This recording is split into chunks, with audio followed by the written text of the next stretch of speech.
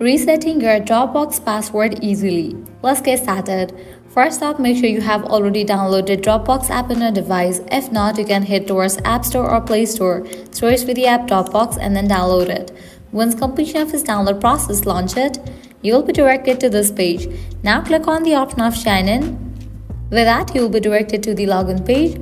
Click on the option Having Trouble Signing In. You'll get this kind of pop-up. Select the option for Forget Password.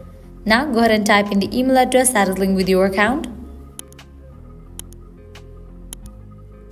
Once you type in the email address, click on send. With that, you will be receiving recovery mail in your email address that you have just entered over here. Click on OK, then close this, check your mail.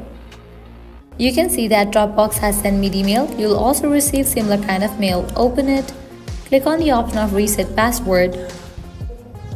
Now generate new password for your account. Retype in your password. Once you are done, click on the option of submit.